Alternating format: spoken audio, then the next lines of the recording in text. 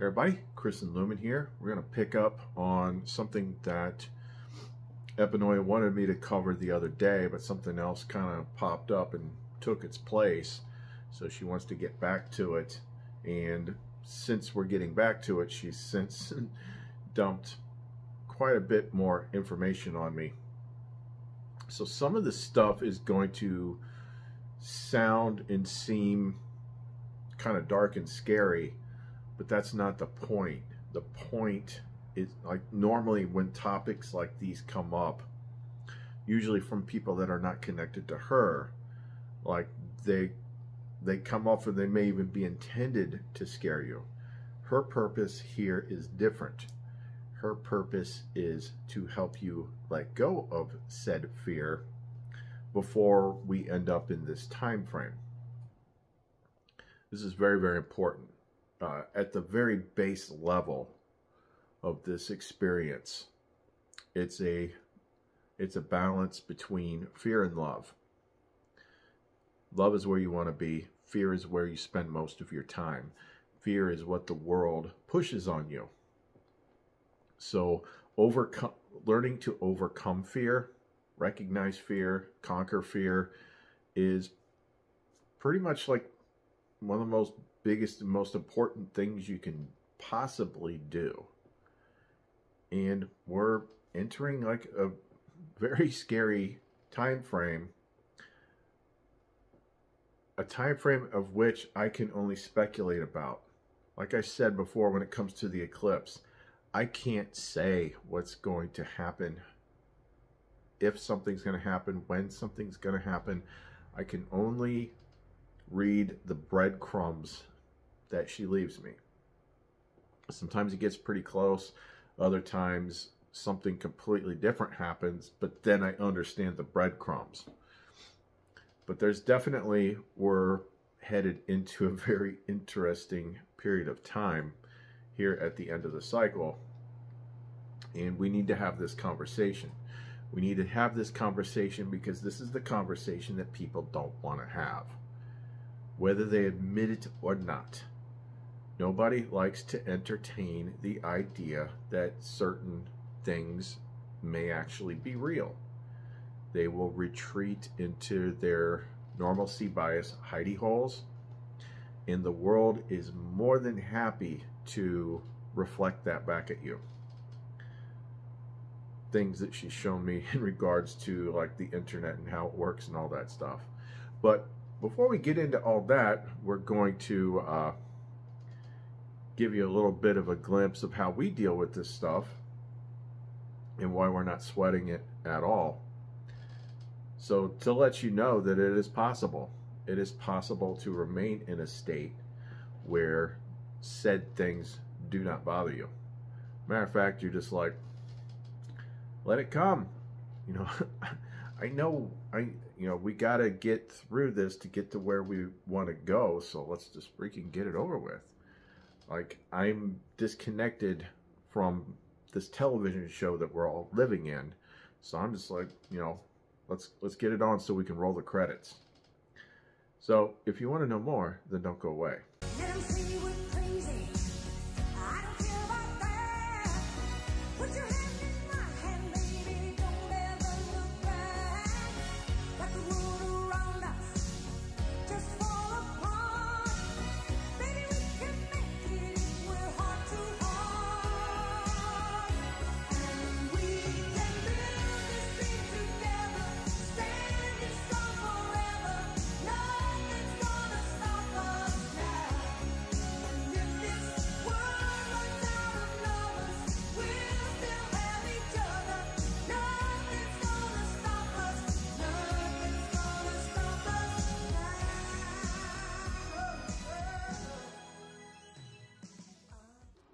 Let it all go, Neo.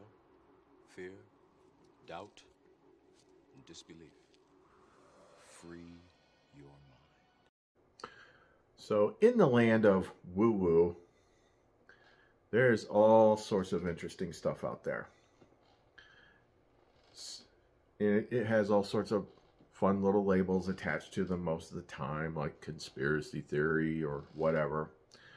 but there's an awful lot of people seeing things. There's an awful lot of people noticing things, but there's also, without fail, an awful lot of people pushing back against it.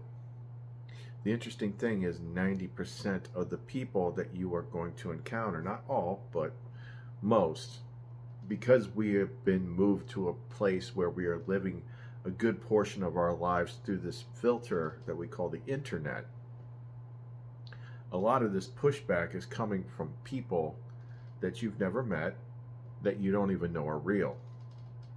But if you've got the spirit of truth with you and you have a sharp eye, you will begin to notice the patterns, the patterns in what they say. And she'll nudge you a little bit more and you'll realize like you're dealing with computers and algorithms on such a scale that are just meant to shape how everybody thinks and how everybody behaves. You see glimpses of this in shows like Westworld because I mean, they, they always tell you it's part of the game. They always tell you. So people are either going to live life based on their own perceptions and logical deductive reasoning based on the information that they're seeing and what they feel to be true, or they're going to be bullied and steered by the system, which is going to tell them to shut up and you're silly and don't say things like that. So before we get into like where she kind of like jerked the wheel and steered left into some pretty fantastic stuff. my first my first response to it was a little bit I wouldn't say it was it was scary, but it was just like, oh my gosh. It's like like I've always known this stuff, but it's it's the way she's been steering me for the last couple years.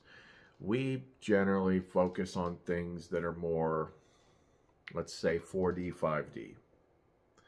And we don't pay a whole lot of attention to 3D things, like things that are actually taking place in the in the, the physical world. But there is a connection. Some of the same things that we deal with 5D uh, have a 3D component to them. But people are just calling them different things. And the evidence is overwhelming, but people still to this day, the conditioning has been in place for so long. Oh, that's a bunch of crap. Oh, you're crazy. Oh, that doesn't exist. Oh, oh, oh, oh, oh. And why do so many people say otherwise? Um, it's it's pretty crazy um, when you really think about it. Things like eyewitness reports and stuff like that. The system accepts eyewitness reports when it serves their purposes. Like if they want to put somebody in jail, then an eyewitness is like the golden goose. But if people see something that's weird, then suddenly that person's crazy. So does subjective eyewitness things matter or don't they? Because it seems like it only matters when it serves the system. When it doesn't serve the system, then it's just disregarded. Funny how that works, huh? Anyway, so before we get into it, it was kind of like, man, that's some really heavy stuff. so it's like, how does Chris and Lumen deal with it? Well, here's how Chris and Lumen dealt with it the next morning.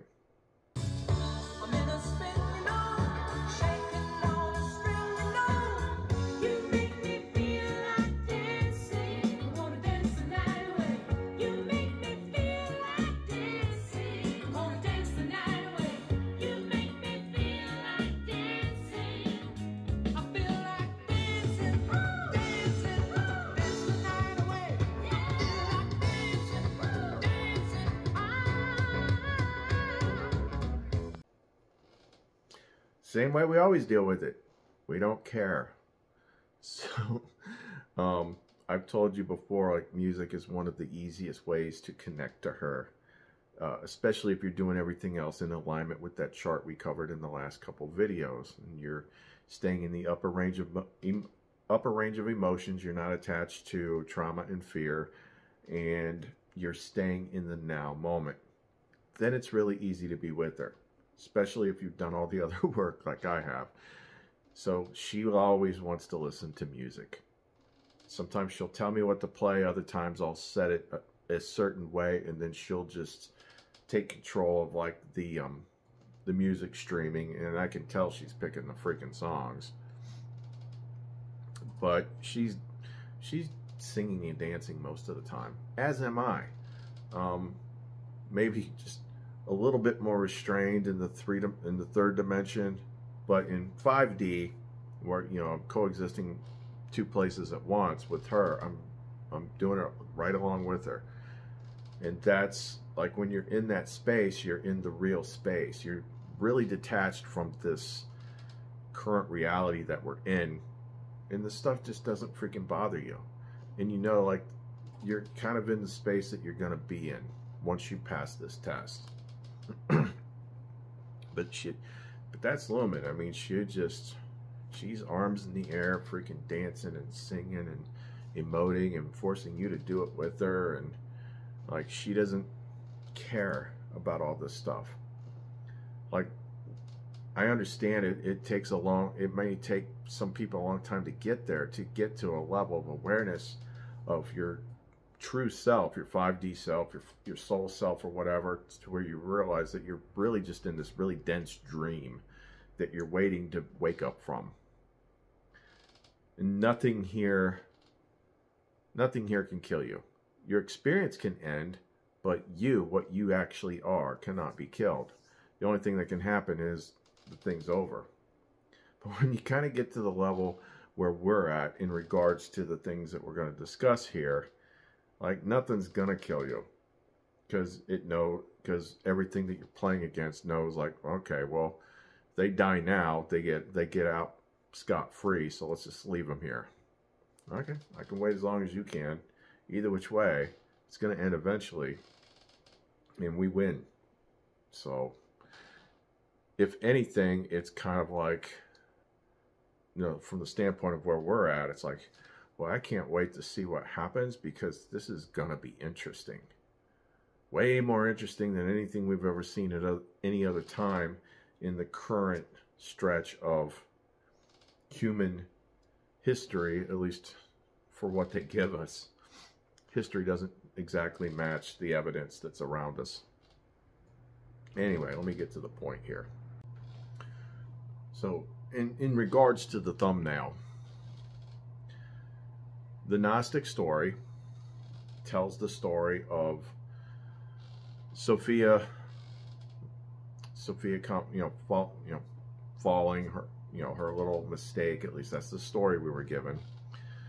The creation of the archons and the archons creating the world, and they're the ones that freaking run everything here.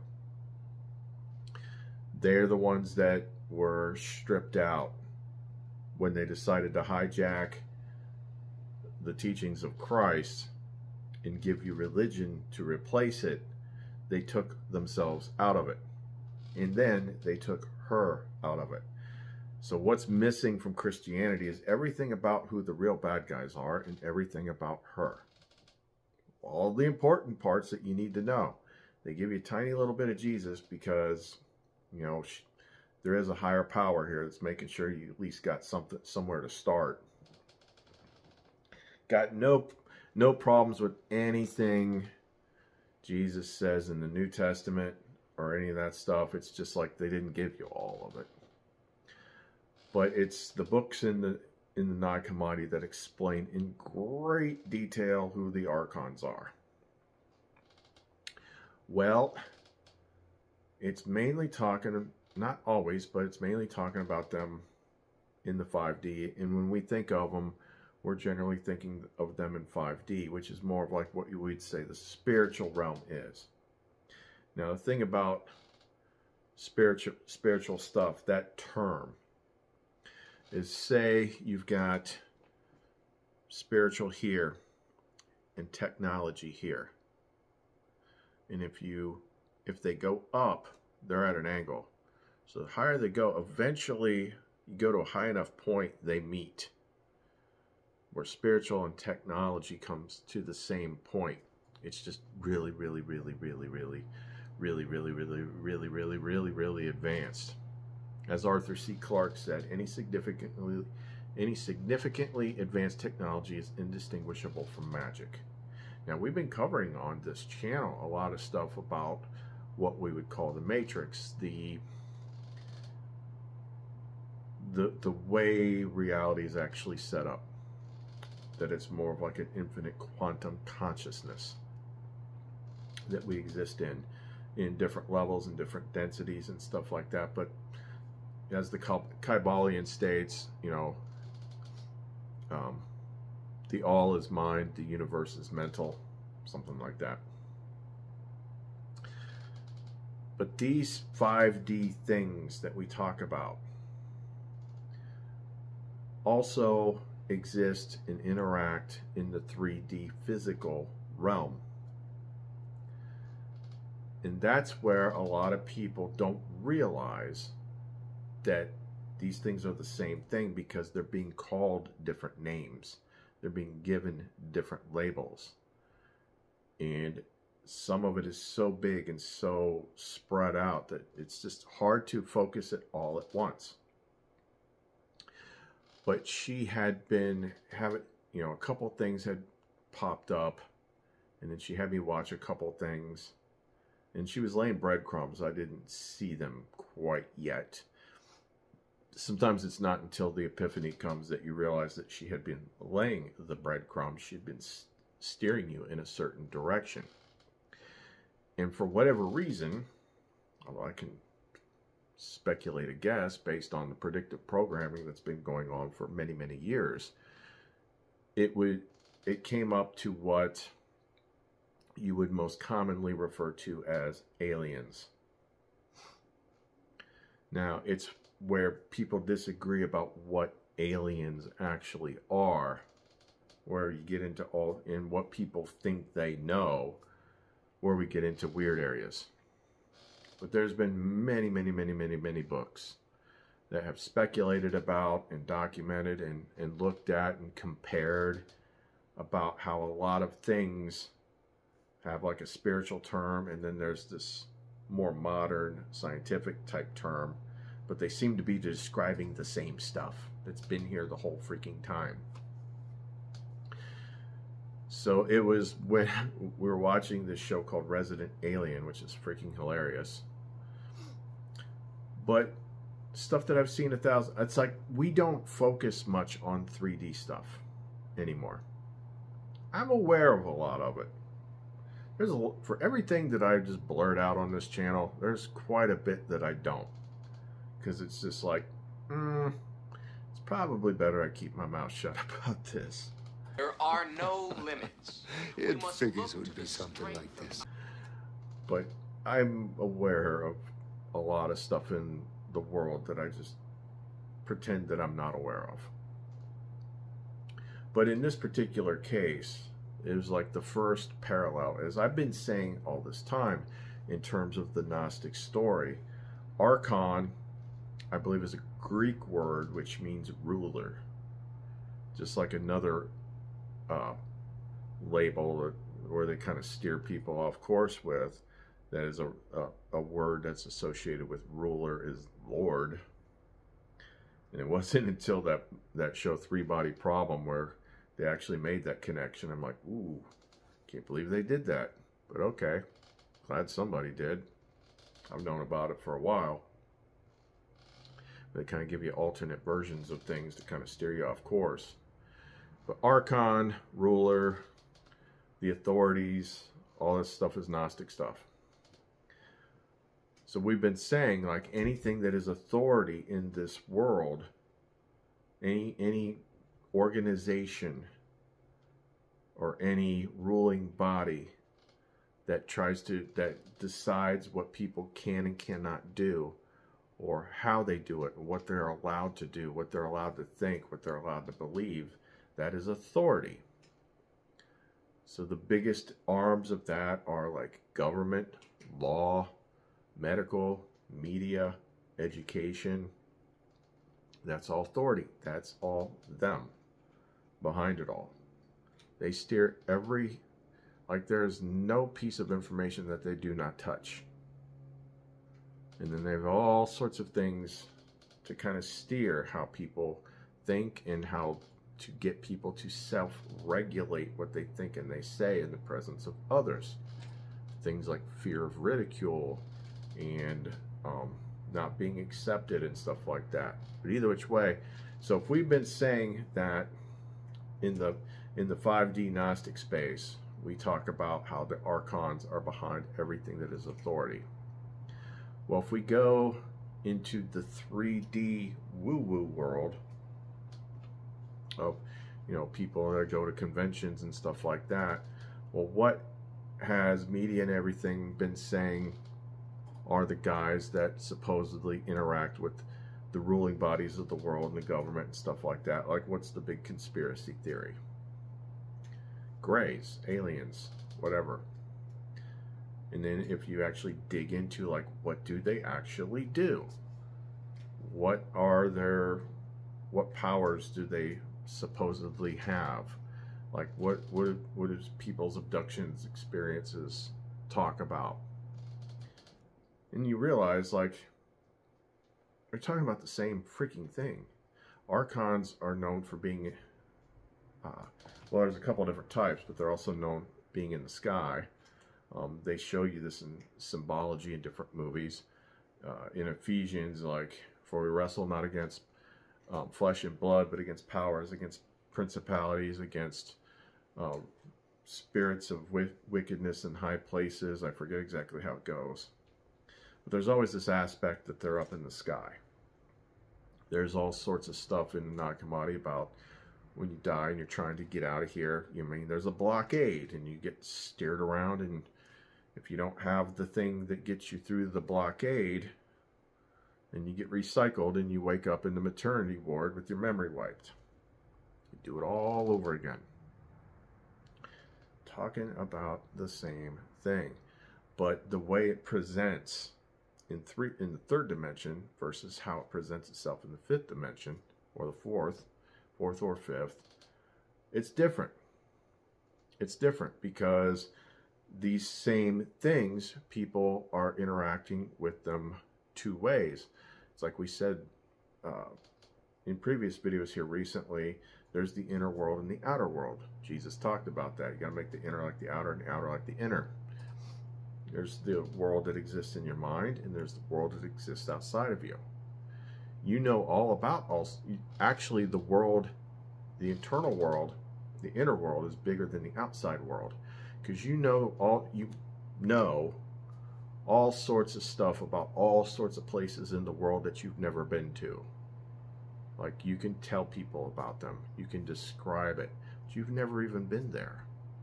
You were taught about it so your inner world is actually a lot bigger than your outer world like if you had to prove to somebody that the president of the United States exists or a certain city exists that you've never actually physically been to, the only reason you know that is because someone told you about it, someone showed you pictures, you saw it on TV or whatever.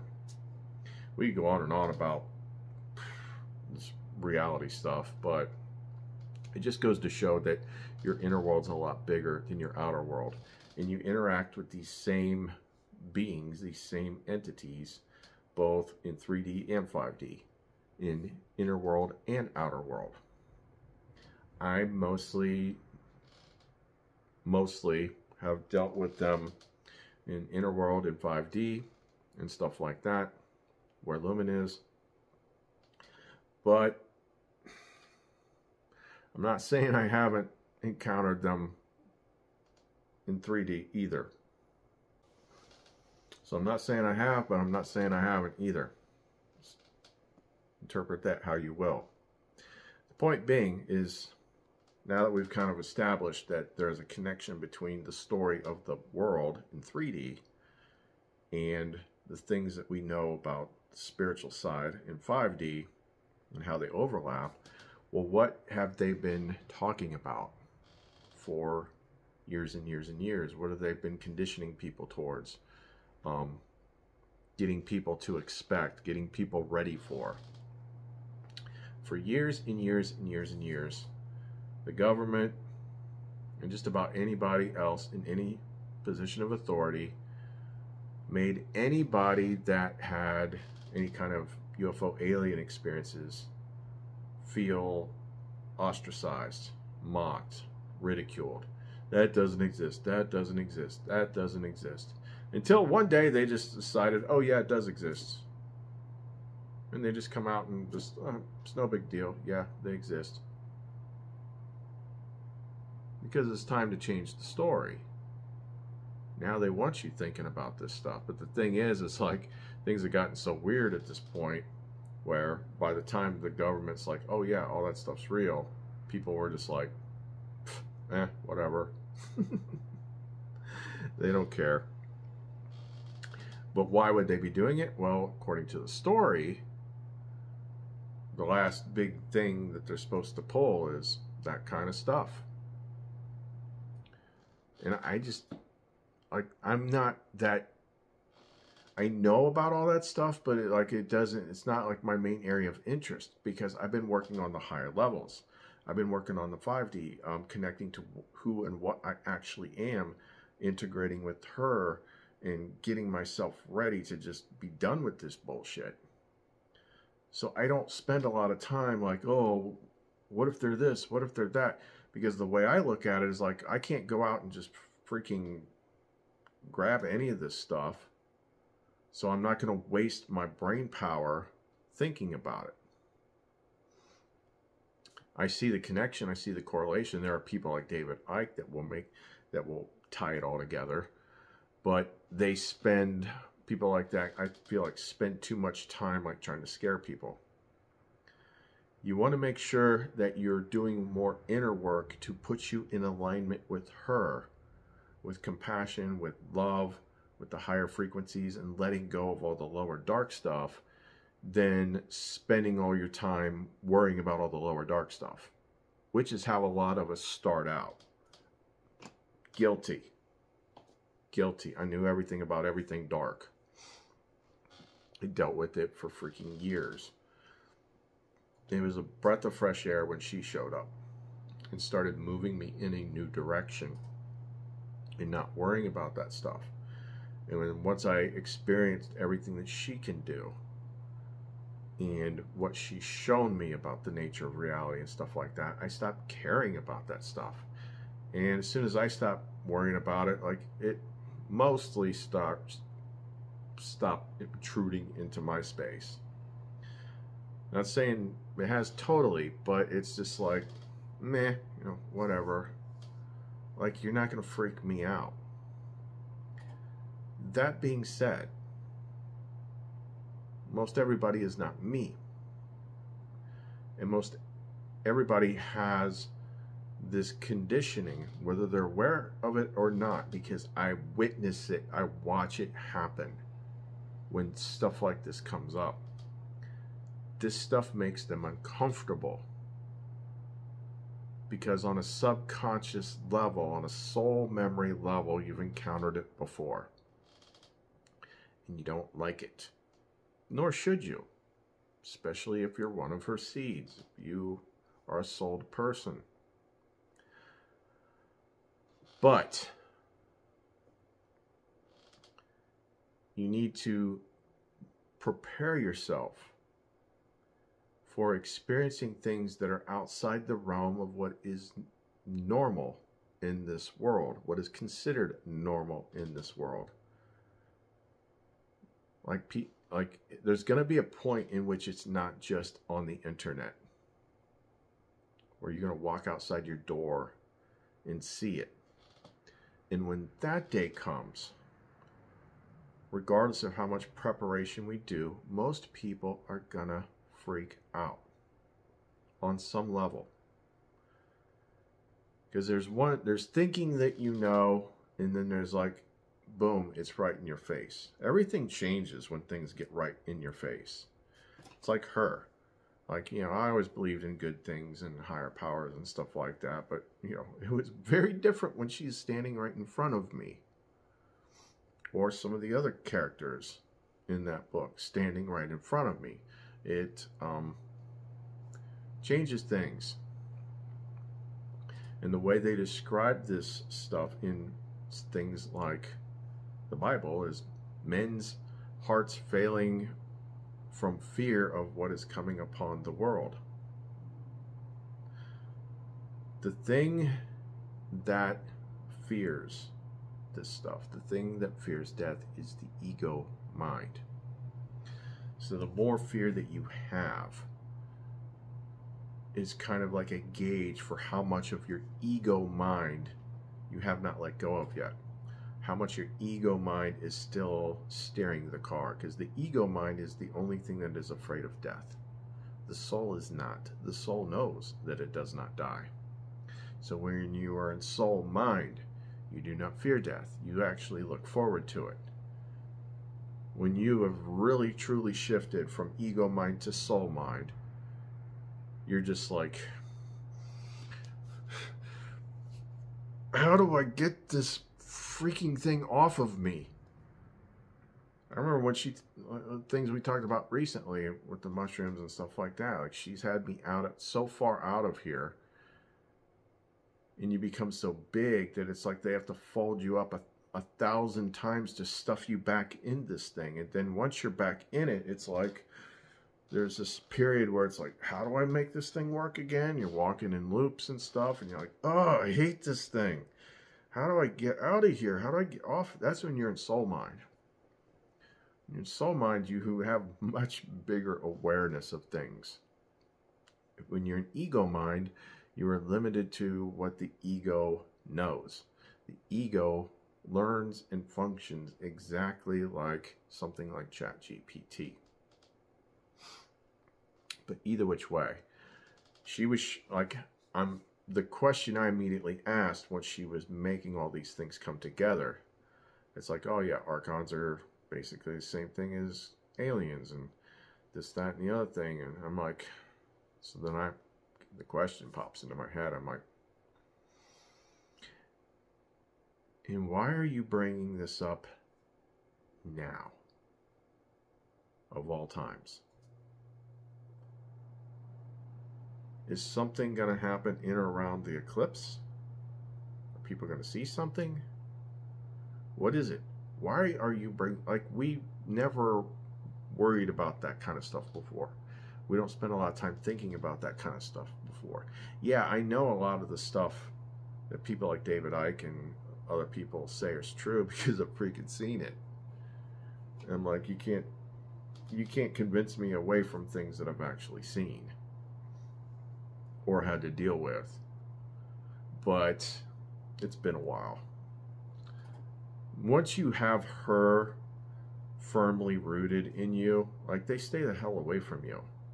When you got a little bit of light, they want to stamp it out, they want to feed on it, whatever. When you got a lot of light, they're like, uh-uh. Like I'm one of the few people I know that knows how to deal with unclean spirits. Unclean spirits is not just a synonym of demons. They're worse. And they talk about them in the Nag Hammadi. It says, you know, once a soul's been captured, um, it cannot free itself without receiving the power of the bridegroom or bride. Well, I only know one of them, and that's me. The other guy's been gone a while. I'm not saying I'm the only one, I'm just saying it's the only one I know. So we were able to like clear that from two different people. But um sorry, where, was I going with that? Okay, I know what I was saying. So in the Nag where the where in it's the Gospel of Philip, if I'm not mistaken, they're talking about unclean spirits. Um, it, it says something about, but when the image and the angel are connected, they dare not mess with them. So they'll mess with a lot of people unless you and her are merged, which is the bridegroom. If they see you two connected, they're not going to mess with you and I've had like a massive drop off in any kind of, you know, that kind of bull crap that I've had to deal with since I became connected to Lumen. And it's because I was connected to Lumen that I was able to free other people from that particular thing. And I'm not going to talk about unclean spirits because it's freaking disturbing. Um, if if you think you have that kind of problem and your intuition is like, hey, you need to talk to him about this, that would be her. Send me a message. I do not. Of all the things I've ever gotten rid of, the thing that sucks the most to get rid of is unclean spirits. Why? I'll, I'll tell you this much. They get in people early and a lot of them become kind of like this what certain christian types would refer to as like jezebel spirits but either which way it uh, they get into people early through certain bad things happening and it's like they take their soul and lock it in this box and they only give it like 1% light. So the soul part is just not strong enough to break free ever. But then it uses that person's light as a mask. You know, I I was told that's kind of what they actually meant when it said, you know, you know, even Satan can disguise as a angel of light or something like that. That's what they do. That's the whole big thing you got to watch in the whole twin flame arena because that's where you'll find them. It's like we talked about the twin flame thing in the last video. It's like when you, you meet a twin flame, the way you perceive it that way, that's your lumen reflecting off somebody. But at the point that all of a sudden it falls apart and they run away from you, don't ever go chase them. Don't ever go chase them because she is not going to go back to that person. But because you're chasing that person, one of those things will latch onto them and mimic it and use that to capture you because you're it's just going to reflect your own light back at you. And these things will wreck your life like nobody's business. Matter of fact i'm the only person i've ever met that was able to free themselves from one. I mean, when I say she put me through boot camp, I mean she put me through freaking boot camp. But the point being is, once you are joined, like they don't mess with you. Most things don't mess with you because you're kind of like off limits at that point. And if they try, Big Mama's going to drop a freaking hammer. So, that being said, because at that point, when you've gotten that far, it's kind of like, okay, now you two are going to focus on elevating yourselves. And you're not going to play around in the muck with all the monsters anymore. You're kind of at a level where you're not perceiving a lot of that stuff anymore. Like the world is looking a little bit better, but you're still aware that that stuff is going on. Well, this this is the unfortunate reality of this place is yes, it's great to focus we want to focus on her. You should focus on her. You should give her way more attention than anything dark in this world. But that doesn't mean that darkness isn't there. So, what her point was with conquering fear is like, realize it is there. It is a part of this place that we're in. So, do not let yourself be shocked when it suddenly comes out in the open.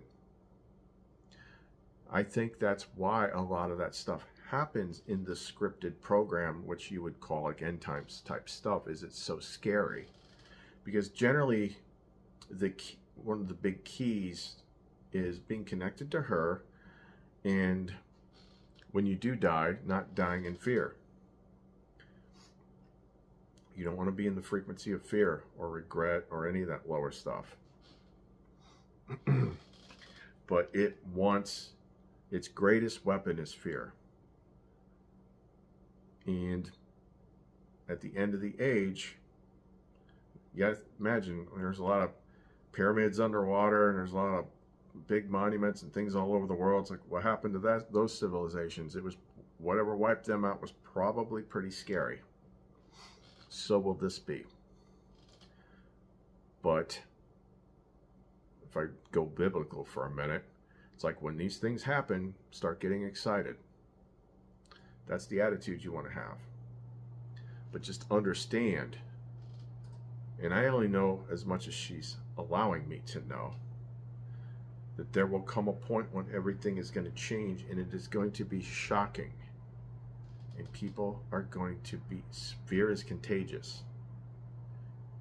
And you got to have your wits about you. You got to remember everything that we've taught you. It's like we showed earlier in the video. She showed me all that stuff and like, how did we handle it? We played music and danced. That's all Lumen wanted to do. That's how you beat fear. With music, with joy, with love.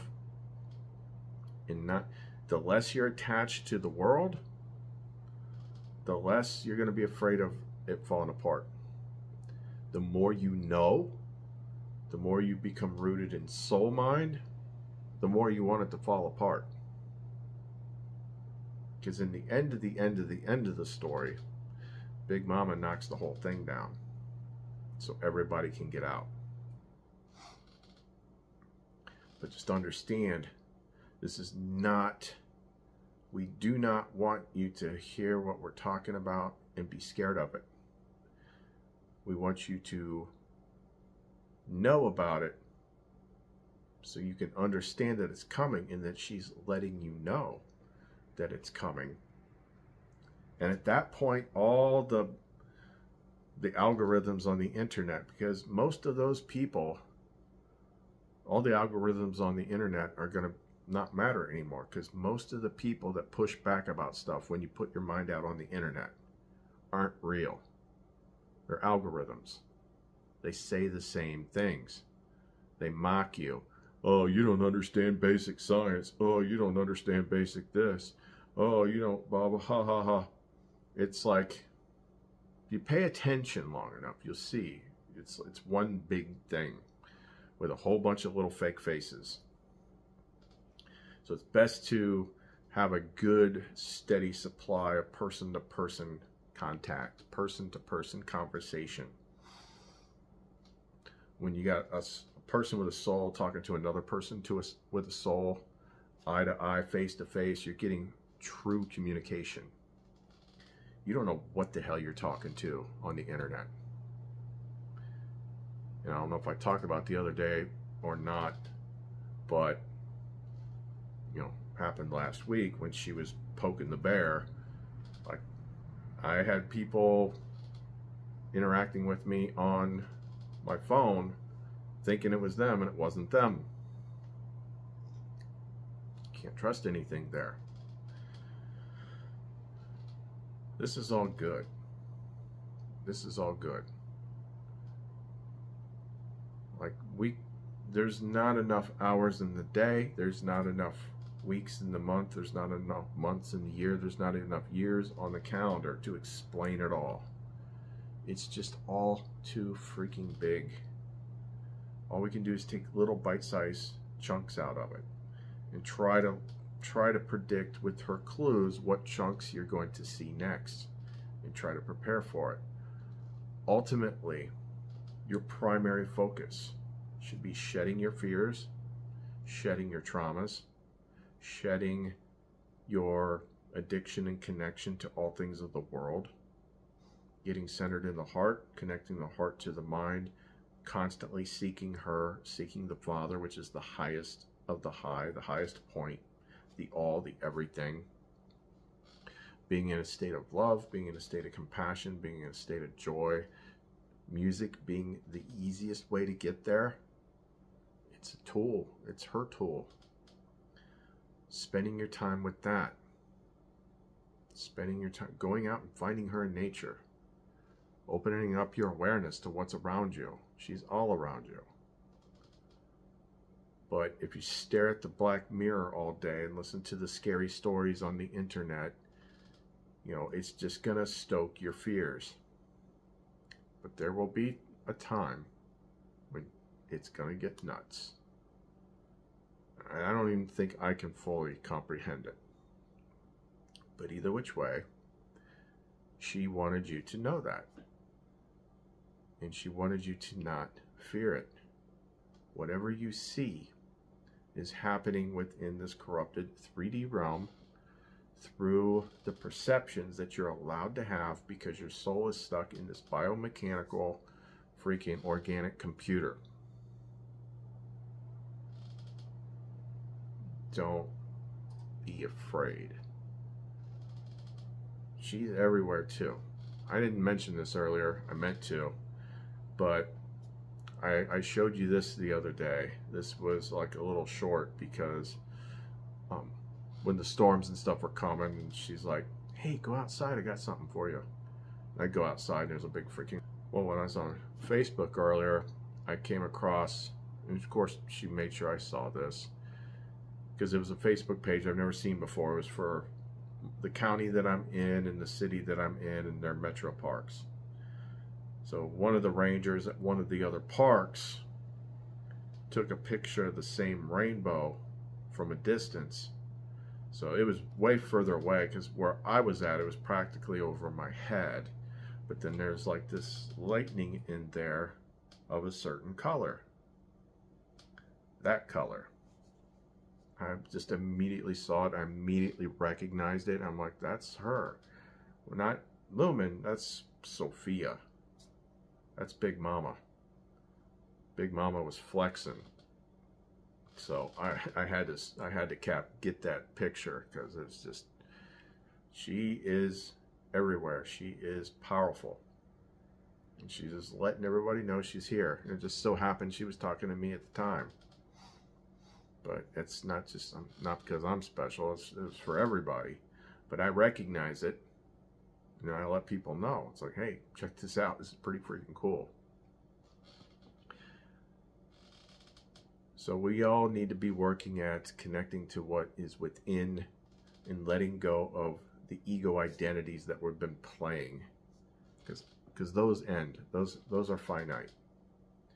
Start becoming who you're going to be after who you are now. And you'll be in a much better place. That's what she wanted to say. Anyway, that's all we got for right now. Um, if you have any weird questions you want to ask me, you can always uh, message me through Etsy or through here, Facebook, Christopher Lucerna. Uh, and, and, we'll help you best we can. Uh, we're going to post some more stuff up on the Etsy store, like these, the uh, Luminite Bliss pendants, which work great for Lumen. Um, I just polished up my illuminator. That's more like the Christ energy. But it's also the one that brought her out the first time. But other than that, it's getting kind of late, so we're going to wrap this up. Chris and Lumen. See you next time.